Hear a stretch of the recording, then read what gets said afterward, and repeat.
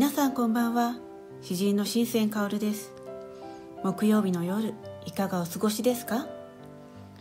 スメゾン言葉の庭へ今週も始めていきたいと思います。スメゾンとはフランス語で種まきを意味します。人と人人と言葉を結んでゆく言葉の種まきをテーマに。読み継がれゆく本のご紹介そして詩の世界をお送りしていく番組です。言葉の光豊かさをリスナーの皆さんとご一緒に味わうそんなひとときになれば嬉しいです。え今日は4月23日春から初夏へと向かっていく気持ちの良い季節ですね、え桜が散って、え緑の葉が燃え始めてとっても美しいですね、えお買い物がてら、え木を見上げますととっても爽やかな、え季節の巡っていくのを感じています、え最近は、えお花を部屋に飾るのがマイブームで、えちょっとね、え美しいお花や、え緑があると気持ちが和やかになります。リスナーの皆さんはどんな楽しみを今お持ちですか？それでは今週もゆっくり聞いてください。スメゾン言葉の庭へようこそ。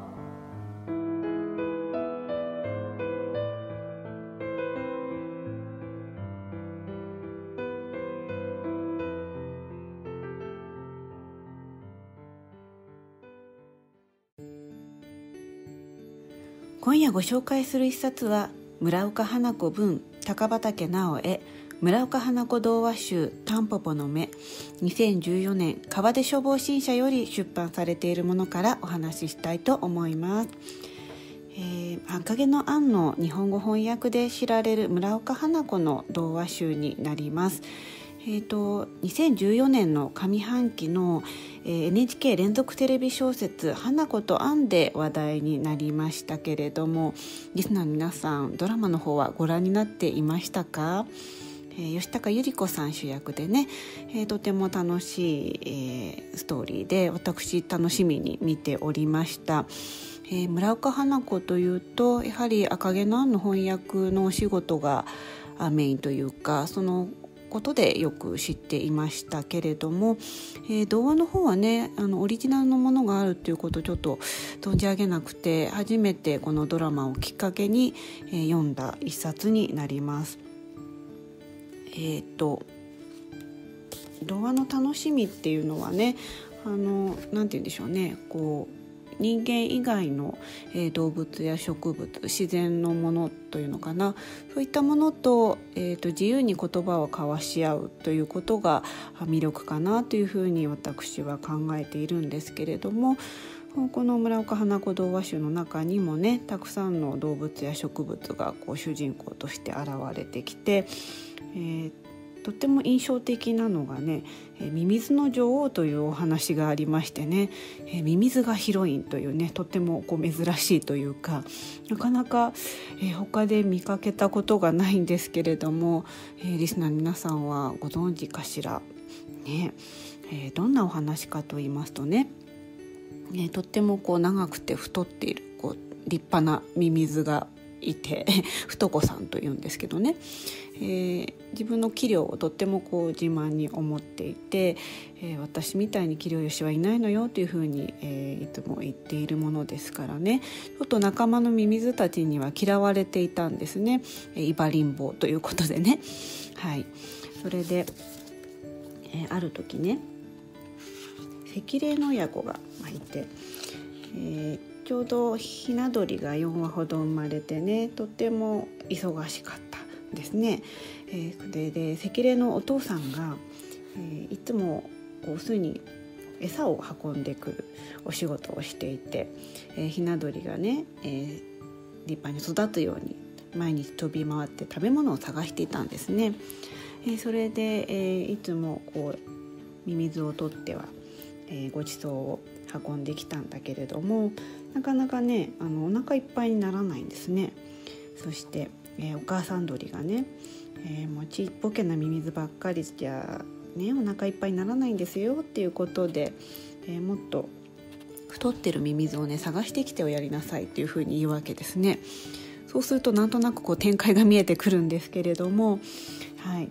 えー、一方ミミズの側の世界では、えー、赤霊がやってくるとねミミズたちはあ食べられちゃうからと思って巣の中に逃げ込むんですけども、えー、太子さんはねあの太ってるものですからなかなか巣に入れないんですね。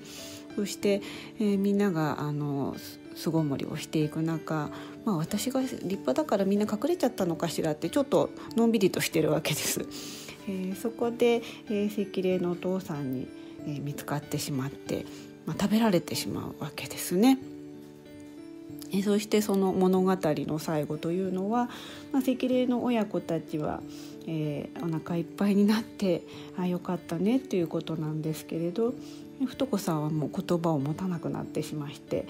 あらということで、えー、ハッピーエンドとバッドエンドが一緒にあるというようなとっても不思議なお話でちょっとこうユーモアのあるちょっと毒のあるねお話を書いています。またもう一つ私とっても好きなお話があって、えーとね、ポストに迷い込んだ蝶の話っていうのがあってね、えー、1羽の蝶がねポストに迷い込んでしまって、えー、そこで、えー、羽が破れてしまうんですね。そうしましたらあのそのポストの中で、えー、新聞が声をかけてくれて、えー、自分の新聞に、えー、貼ってある切手が1枚ね余っているからどうぞこれ貼って、えお帰りなさいというふうに言ってくれるんですね。そこでその切手を破れた羽に貼ってね、えー、蝶はまたあの外へ出て、えー、帰っていくというえとってもこうファンタジックな、えー、新聞と蝶のやり取りというのはね不思議な感じですけどもねでも子ども向けのお話というかこういった童話の中では自由に言葉を持って語り合ってで新聞がねとってもこう頼もしく感じるというかね、えー、ちょっといじめられそうになる蝶を助けてくれる、えー、そんなお話が書かれてあります。えー、こちらあの帯の方にはねあのグリとグラで有名な中川理恵子さんがとっても絶賛している、えー、言葉が書かれてありまして、えー、温かな口調には無駄がなく歯切れよく物語が絵になって見えますというふうに書かれていて本当にこう短めのものがたくさん入っているんですけれども、えー、とても読みやすいですし、えー、非常にこう感情移入しやすいというか楽しいお話がたくさん入っていますまたあのドラマを見ていて初めて知ったんですけどもあの翻訳の仕事、まあ、童話オリジナルの童話を書くのと同時にですね、えー、評論なども書いていてあとは戦前には JOAK ラジオ番組「子どもの新聞」を担当して、えー、ラジオのおばさんとしても親しまれたというエピソードがあります。ね、ちょっと今ねラジオで、えー、お話しさせていただく時間を持っていますのであ村岡花子がラジオをやっていたんだっていうことドラマの方で初めて知ってね、えー、非常に親近感を覚えて、えー、読んでみた一冊になります。えー、今ねお家で過ごされてる時間が多いかと思いますのでちょっとね読書タイムというものも、えー、多くとってみるとねよろしいかと思いますね。なかなかね時間がないとあの本を紐解くということをしなくなってしまうことがあるかと思うんですねえ。私はうんだいたいお家で本を読んでることは確かに多いんですけれどもまた今ね、えーと、外出がなかなか、え、できない時間が増えていますのでより一層こう一つ一つの本をよく見て選んで、えー、そうですねあのちょっと読んでみようと思いつつ、えー、積んである本の中からね今の自分をこう励ますものというのでしょうかね、えー、心が明るくなるような励ましをもらえるようなものをね、えー、ぜひ読んでみたいかなというふうに考えています。えー、番組でもねできれば、えー、皆さんがね元気になれるようなものをねえー、お届けしていきたいと思っておりますのでね、えー、毎週木曜日の夜10時45分から15分ほどの番組ですけれども是非耳を傾けていただけましたら嬉しく思います。今夜ご紹介した本は村岡花子文高畑直江村岡花子童話集タンポポの目でした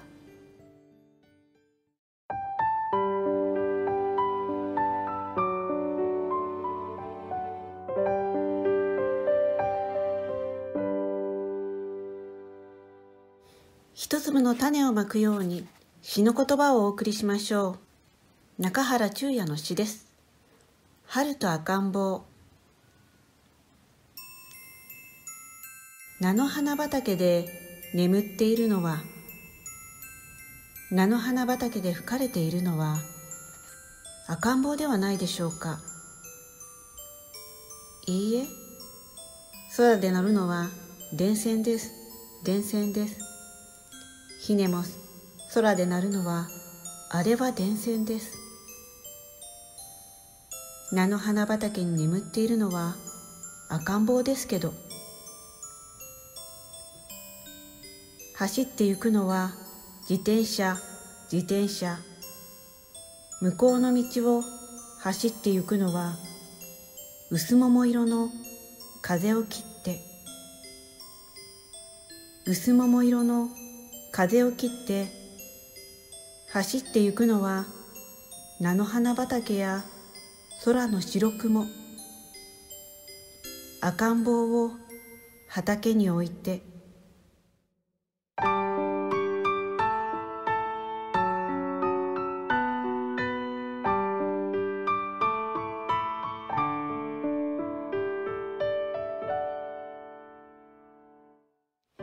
エンディングのお時間となりました。今夜は村岡花子文高畑直江村岡花子童話集タンポポの目と中原中也の詩春と赤ん坊をお送りしました。今お家で過ごされている方が多くいらっしゃると思いますのでぜひラジオの時間に耳を傾けていただけましたら嬉しいです。それでは今週もお聴きくださったリスナーの皆さんありがとうございました。来週の放送も楽しみにしていてくださいね。また私の活動につきましては新鮮香る漢字で神は神様の神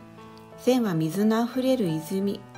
香るは草冠の香るで検索をしていただきますとホームページブログ Facebook、Twitter などで情報発信しております。ぜひご覧ください。また番組へのリクエストご感想もお待ちしております。ぜひぜひお寄せください。そろそろお別れのお時間です。今夜あなたの胸に巻かれた言葉の種たち。いつの日か水と光に満ちた輝く芽生えが訪れますように。お相手は新鮮薫でした。